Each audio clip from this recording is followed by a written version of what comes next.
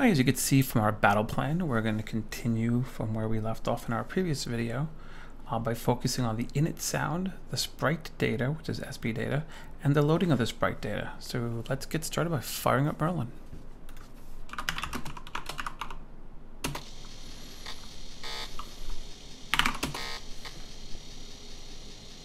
Okay, we're going to change our drive to 9. Jump into the editor and write our init sound code what we're going to do is take the portion that you see there in BASIC and uh, make the equivalent in assembler. It's just a bunch of pokes to a memory jest, all starting from S. So this should be pretty uh, pretty straightforward.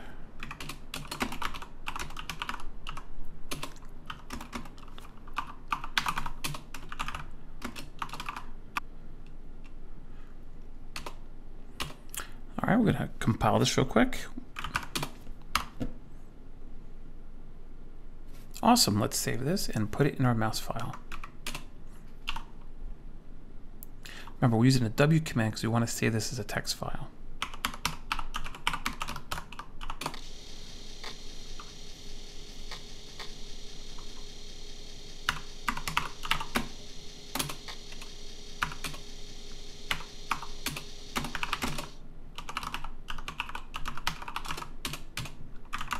Going to assemble it.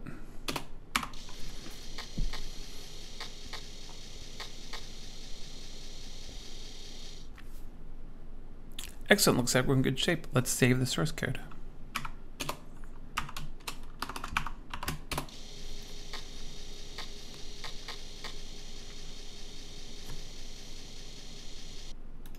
Okay, now we're going to take, we're going to create the spdata.put file by copying all those data commands into uh, its own file. So let's get started. Oops, gotta start a new file here. We go.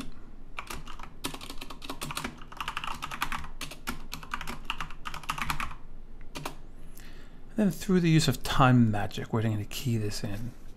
Okay, and here's all of the data keyed in and verified. I don't want to put you to sleep watching me type that much stuff in. Um, as you can tell, it starts by jumping to the end of the file, and then it creates a block of memory with all of our sprite data into it. So let's save this. W to write it out.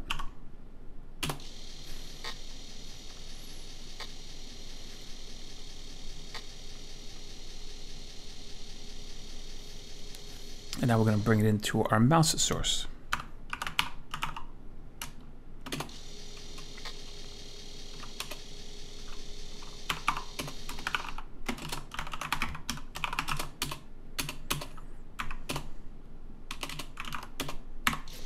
Now let's see if this assembles.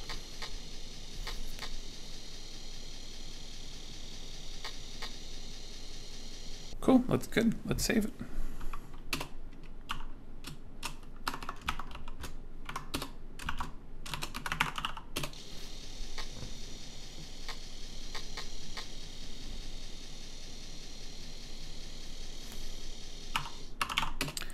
All right, uh, looking at our battle plan, you can see that the next thing we need to do is to load the sprite data in.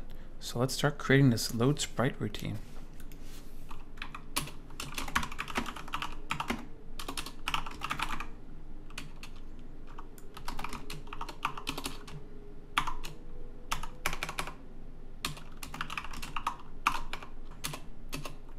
I'm going to use a copy command to clone this section of code.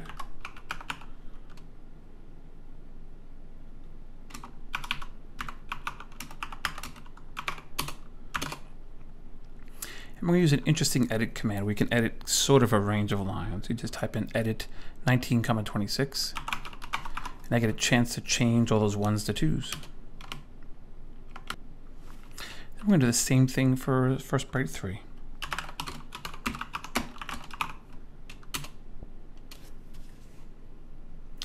Excellent. There's just a few more pokes we need to add in and we're all done. All right, the assembler will fail because those symbols um, for SP data exist in another file, but let's just make sure it's structurally correct. We should be able to skip over the references to SP data. Nope, I guess we can't skip over it. Well, we're going to save it and try it with the full mouse. So let's give this a shot. Put.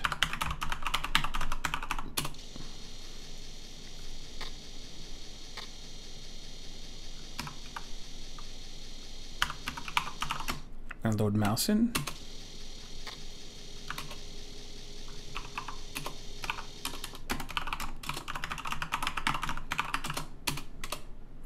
and we're going to assemble it. There's a the listing is getting longer and longer and the output takes forever. You can press the F1 key so it doesn't just write the output, which actually really slows the assembler down. So I'm going to press F1 right when it starts out.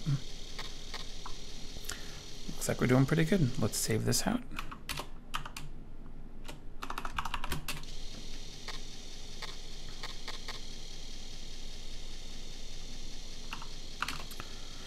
At this point, we've initialized the screen, we have initialized our sound, we've got our sprite data, uh, we loaded our sprite data. Uh, we're going to work next on two short loops that we need to just pause for uh, a moment while the animation's running.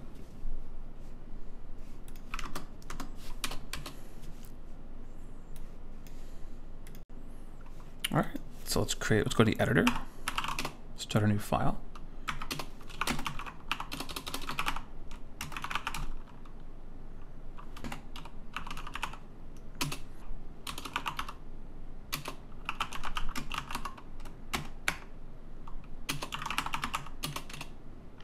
do a quick assembler check and then I'll explain what it's doing. Ooh, I see a typo on line 19.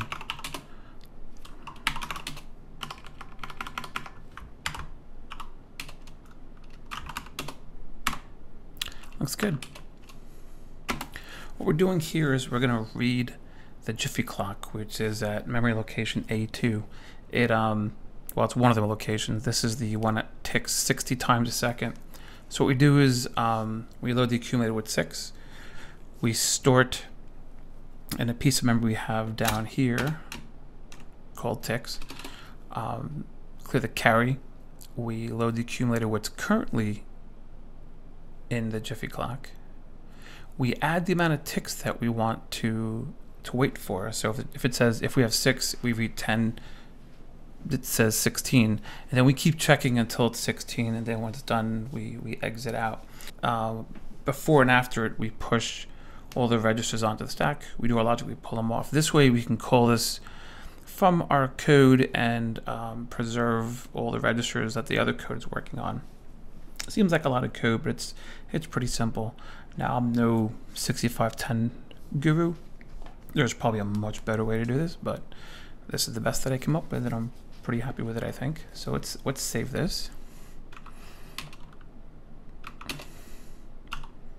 and we're going to call this um, wait.put.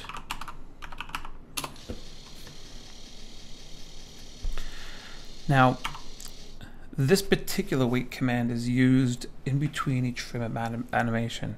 We also need a much shorter one for each sound effect.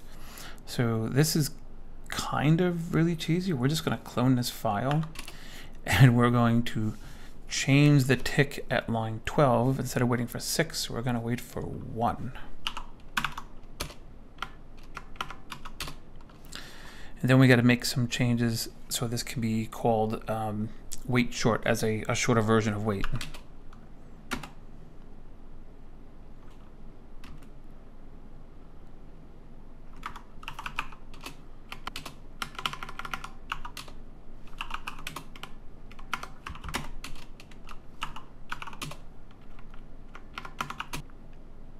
All right, so wait short is um, if you JSR into here, stops the um, program for one tick.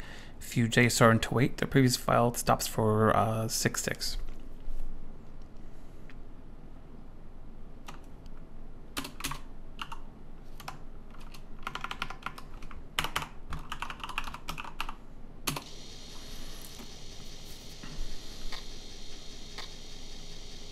All right, let's link these into our uh, file.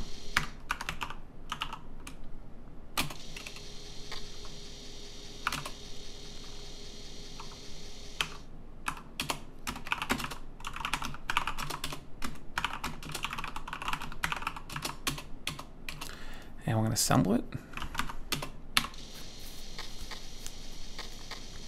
All right, I think we're good. Let's save our source.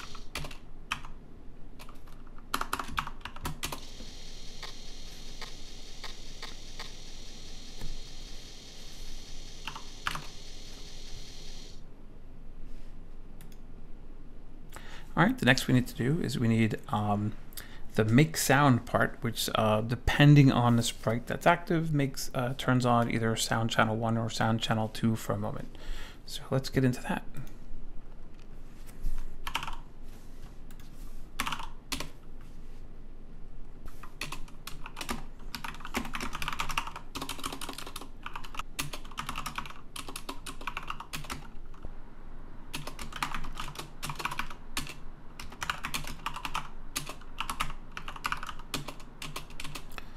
Gonna make sure it uh, compiles first. Oops, we have a typo in line 12. Oh, these aren't typos. Uh, those are, um, S was defined in our init sound and we don't have access to it here. So we're gonna assume it's just fine, but let me kind of explain what it's doing. Um, if you look at the battle plan, you can see that uh, this particular piece of code is called right before we show each uh, frame of animation. If it's the first frame, which is 192, it makes a sound. Uh, we turn the sound on by putting that 129 and S plus 4. We call wait short to wait one sixth of a second, and then we put a 128 into that to turn it off. Basically the same thing for the other sound, which is 193. The third sprite, we don't make a sound. So we kind of get this kind of like click, click, click, click, click sound, or I should say tap, tap. All right, so let's save this and add it to our code.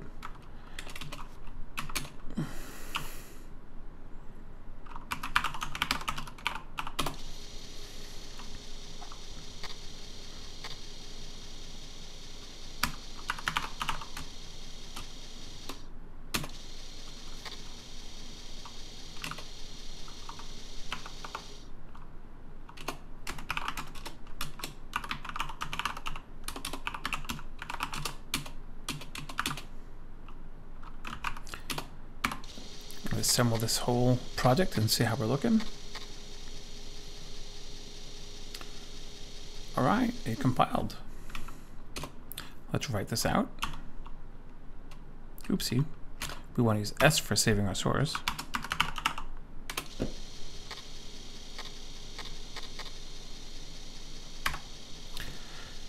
Looking at the disk, we are down to just one final part to make our program work, and that's the animate part, where we actually animate and, and, and basically do the main part of the program. Let's do it. Let's get started. So let's get back to the editor. Start a new one, and we're going to do the actual main animation.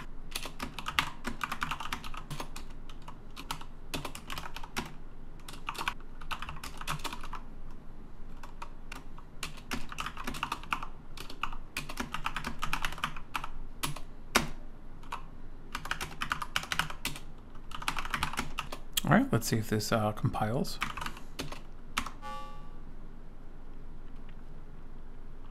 Oop, I see a typo.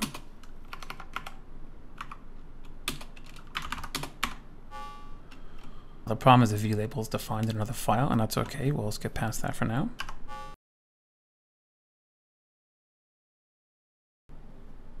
Okay, I'll kind of describe what this does.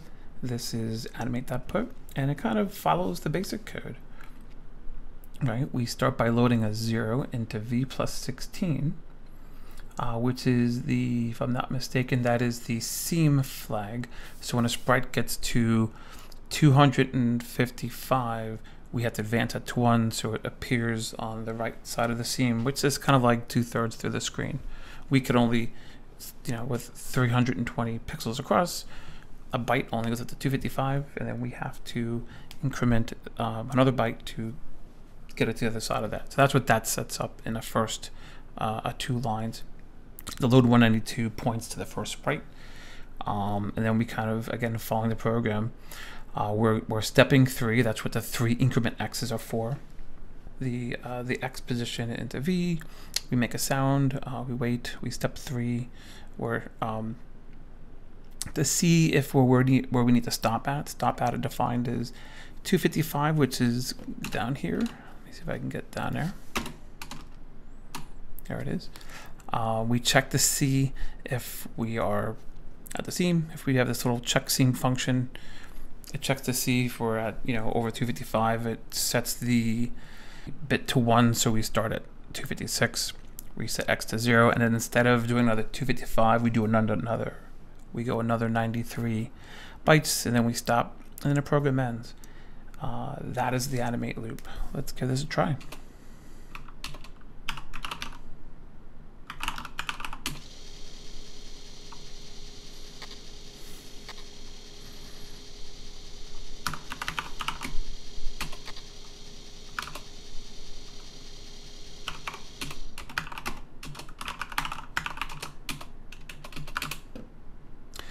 Uh, there's a whole program, not a whole lot to it. It reads kind of like a script. So it's screen, set the sound up, declare some sprite data, uh, put it into place.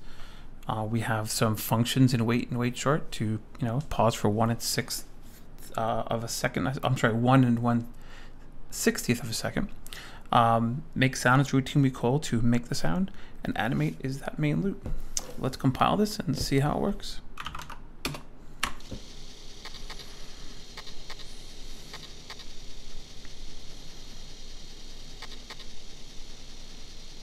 Once again, I pressed F1 to suppress output so it doesn't just fly across our screen. All right, we're going to exit out of here. We're going to save our source code. We're going to output the object code. And now for the final test, we're going to run it from the Commodore prompt and see how it works.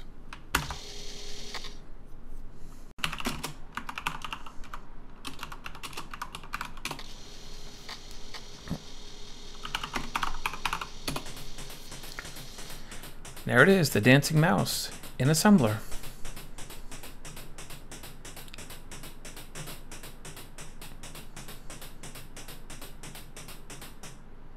Excellent. Um, I had a lot of fun putting that together. It definitely wasn't as easy as what you saw. I edited a lot out of me uh, with typos and and things like that, but uh, but yeah, what a really fun project. Um, and that's a really fun assembler package, Merlin. Um, I had never heard of it. Of course, I haven't heard of many of these assembler packages on the Commodore. Uh, but uh, thank you for taking this journey with me. I hope you liked it.